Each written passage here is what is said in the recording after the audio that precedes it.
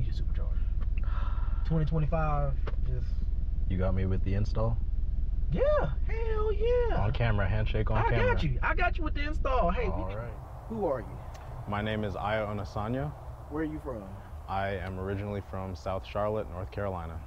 And what do you drive? I drive a 2015 Mazda 6. Why? A Mazda 6. I drove the Accord, I drove the Camry, I drove the Mazda 6. This one handled the best and it was the best price, so this is what I went with. So you didn't want to be like Roy and drive a Honda Accord. he has the big money Accord though. He has a 2.0 T. I don't have it like that. Big worm. he got me this summer too. Oh. and how long have you owned your Mazda 6? I've had it a little bit over four years. Uh, I think going on four and a half years now. And what do you love the most about your Mazda 6? I think the burgundy interior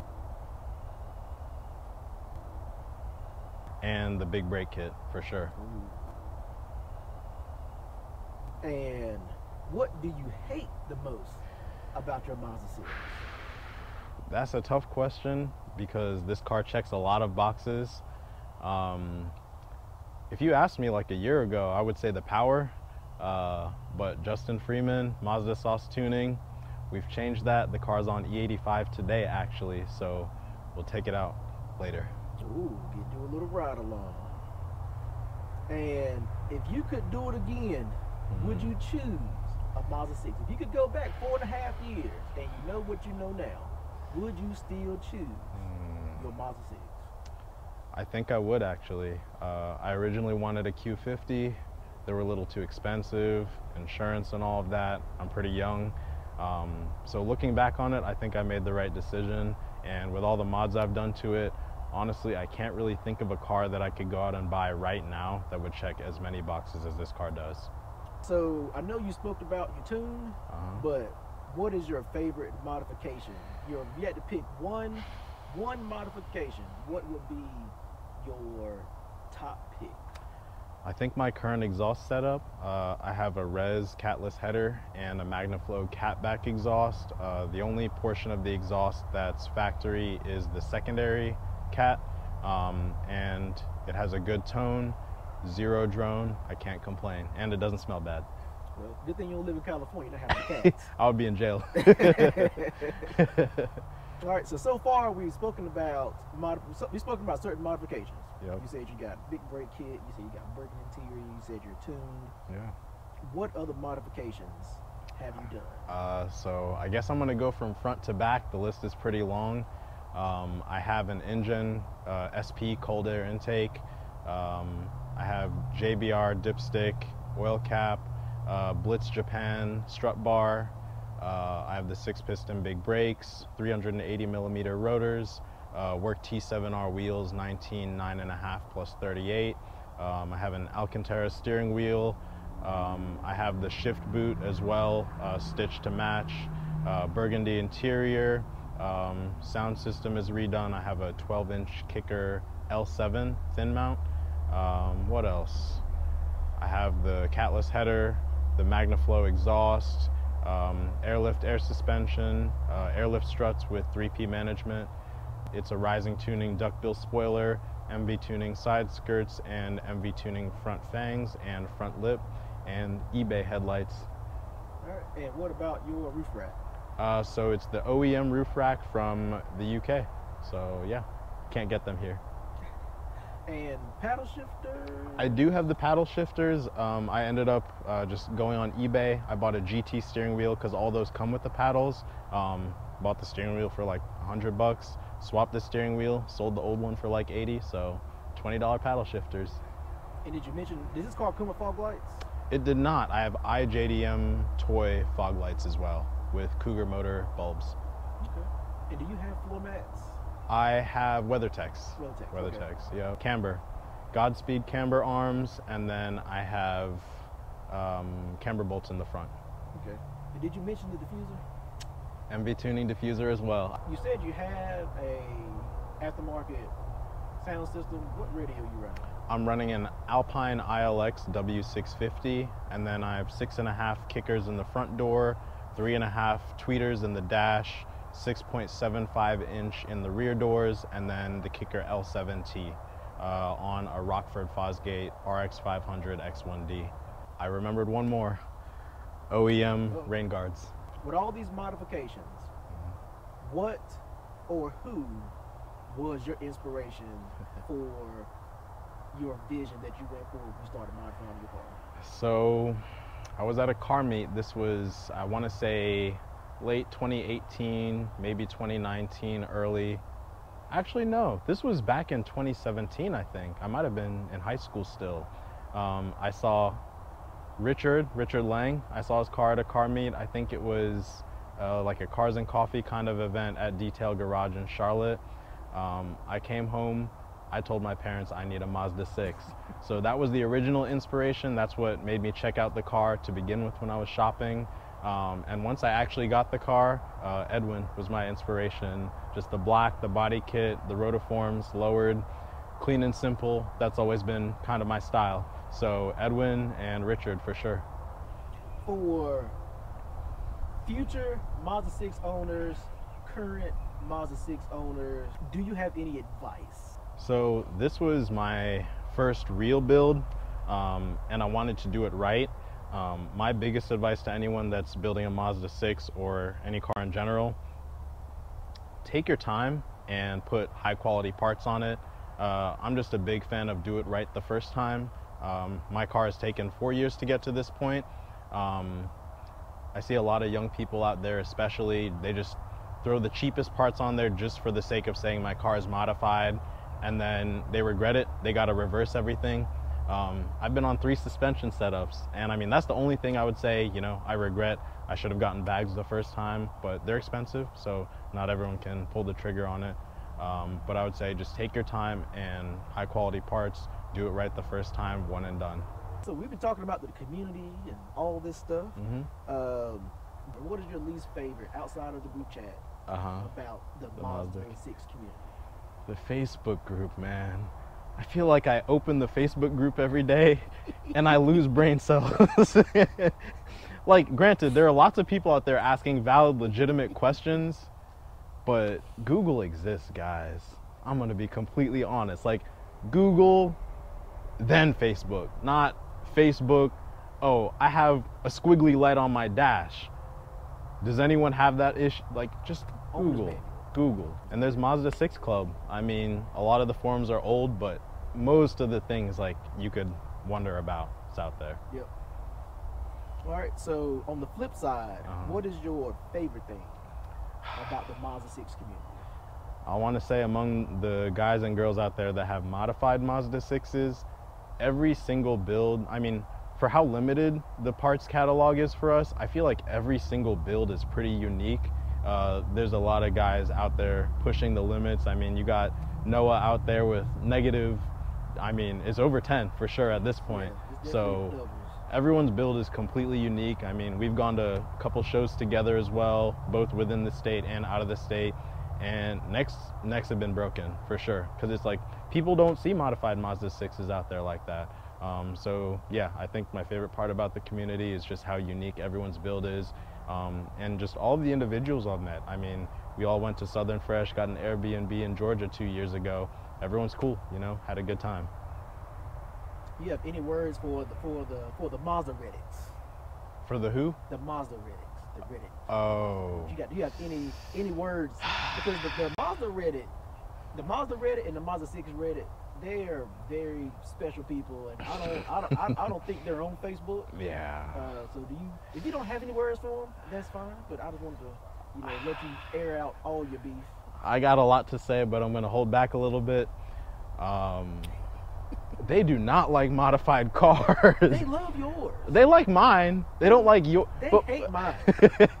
They absolutely despise mine, but they love yours. the amount of times I've gotten comments, "Why is your suspension broken?" And you and you don't know if they're serious or Yeah. if they're if they're being satire. Yeah. Little do they know. I mean, I think my car drives like a Bentley, so my suspension's not broken. I don't care what they say. So I think now it is time for the driving portion, All right. and we're gonna see how fast the little Mazda 6 can be. the little Mazda that could. The little Mazda. that can. so what do you shift at? 6,000 6,000. flat. What is this in the middle?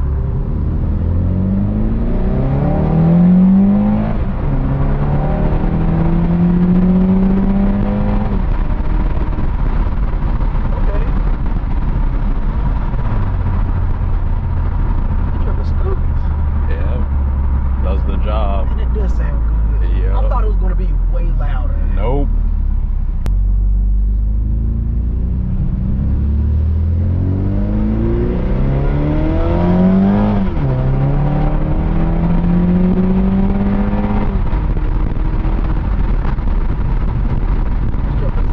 Like I dare to say that my exhaust might be louder, It's possible.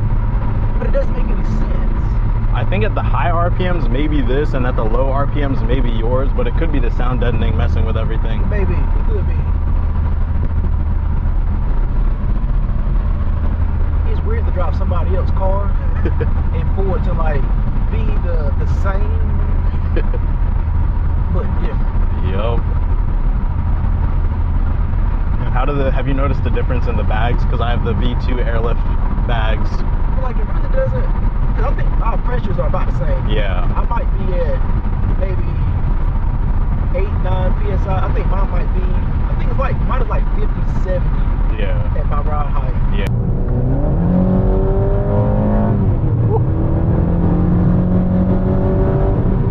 Yeah, It moves. yeah. Yeah. Yeah, This has way more, way more up and go.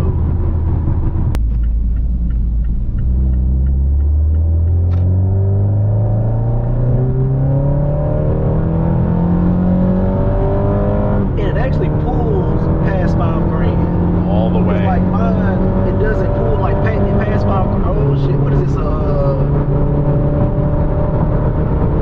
oh, that's an M. M5.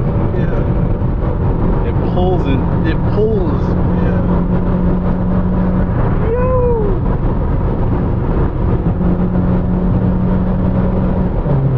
But yeah, because like mine past five grand, like we're really past forty five hundred. It doesn't like it's just it's dead. yeah. Like it's just all hot air at that point.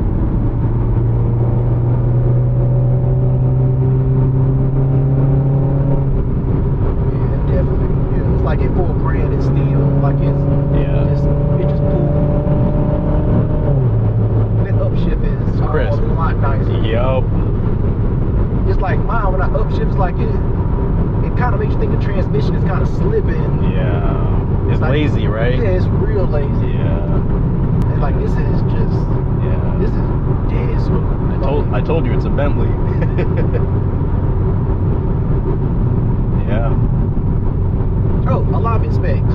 What's your alignment specs? So I've been getting realigned here and there. Um, still trying to dial everything in finally. Uh, but right now, front camber is at negative 0.2. So the the wheels are almost straight up and down. Rear is negative 1.1, zero toe all around, and my caster is within OEM specs as well. Okay. Rear fenders are rolled just to clear the wheels to make sure there's no rubbing. But yeah, I got a fully OEM alignment on a lowered car. That's what I drive. Yeah, that upshift. See, it just pulls like at five. It's like it kicks another gear Yeah. when it hits 5K. And it still pulls like all the way and forth. Like it pulls.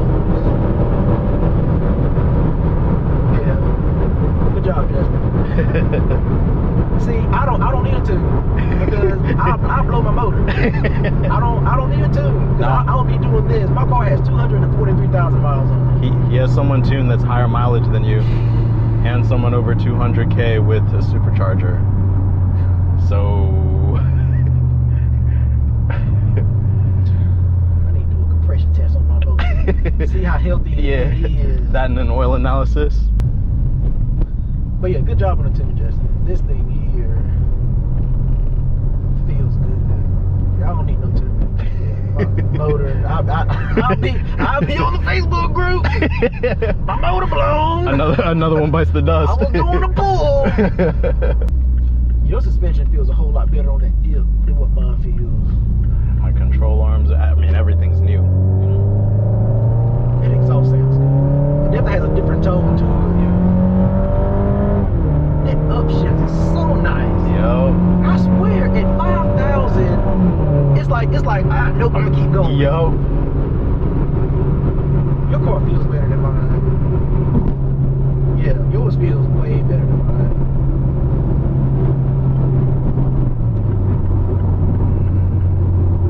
Don't come over here. Yeah, yours, yeah. The front of your car feels, It's planted. yeah, it feels way better than mine. And which uh motor control arms you have? The Super Pro poly bushings, highly recommend. I mean, there's no significant NVH over bumps. Like, I mean, if anything, No, it I makes mean, the car feel way tighter. Cause like I, I go over that dip Yeah. all the time. Yeah. And this this feels Yeah. a whole lot better than mine. Those who don't know, um, Airlift kind of redesigned their front bags. So there's a radial bearing on top of the bag, and then the pillow ball bearing up in the camber plate. Um, versus the V1s only have the pillow ball bearing in the camber plate. So when you're turning, the radial bearing takes all the load, makes the turning a little bit smoother, and everything is quieter. Honestly. And then, what are your thoughts on the brakes as well? You know what? I haven't even really noticed. I haven't really like pressed down on. When you have some space, just get into the pedal and you'll have to hold on. This exhaust sounds good. Just give me a heads up before you. I'm you- trying to right here this light. Sure. What am I going? 50. Good God what? it's Jesus crazy. Christ. How much pedal was that? Like half? I, I just You jabbed it? Jabbed it, yeah. Yeah. Like I, I couldn't keep jabbing it. I was about to be face planted into the doggone steering That's why I had to put the computer on the ground. Good God. It made my heart rate go up. yeah. You know, I really want to drive a car. I really want to drive Daniels Oh, di- with the supercharger. if this is this, imagine yeah, plus. I'm, yeah. yeah, like I'm, I'm really curious to drive. I'm gonna jab the brakes. Do it. I think I'm doing like 30. Good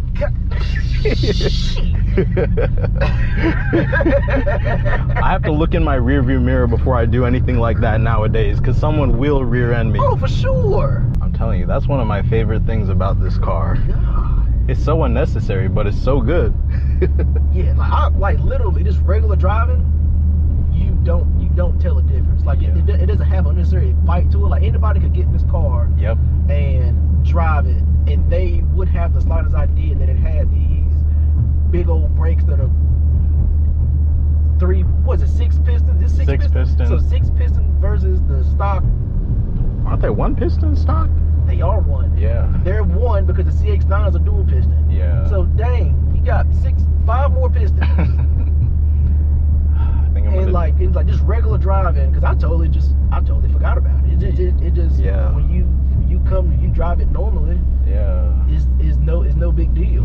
But Yeah. Jesus Christ, if you gotta come to a stop, you coming to a stop Yup. fast. I think that's one of the only other things I want to do to this car in the next year or so. Just the rear big brake kit. Again, unnecessary, but just just to make it make sure everything matches.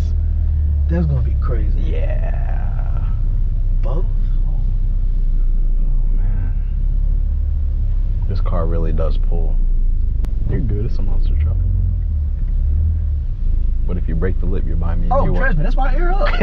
Like I said, because mine mine scrapes, so I'm not gonna take the chance with yours scraping. Yours is all paint match. Mine is just Lowe's rattle can. The tune feels great. The front end feels great. So would you say, after having driven this car properly, is this the ultimate daily? Yes. The only thing, like I said, I would love, and I wouldn't mind if this one had the supercharger on it. Really? I feel like that will be just like the, the ultimate the icing on the cake. one. Yes. Yeah. The, the color of your car with the wheels, the modifications, I think the supercharger. I think this one, if if any if any of the North Carolinian sixes could do it, and then if you powder coated the supercharger, Body color? either body color Ooh. or red Yeah. o- off the brake calipers. Yeah. But I think the body color. Yeah, pop the hood and you got the body color, and then I would do the fins like silver or the same color your wheels. Yeah. Oh. Oh. oh. Yes, sir. But yes, this, yeah, man, this thing feels, this thing feels good. All thanks to you and others. Oh man, you need your supercharger. 2025, just You got me with the install? yeah, hell yeah. On camera, handshake on camera. I camera. got you. I got you with the install. Hey, we can, right. hey, throw it right in the garage. But this is Ayo's 2015. 2015. 2015 Mazda 6 Touring. I love it. Supercharger. he said, I love it, but Supercharger. I'll work on it. I don't need it to. Blow my shit off. Even even if it's free? Ah, if it's free, I'll take it. hey, Justin, It if you, if you hear this. it I will do a whole a whole review on it.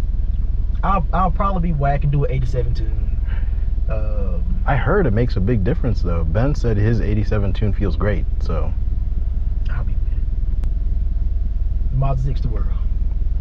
That's why we love it. Think, build, enjoy. Peace.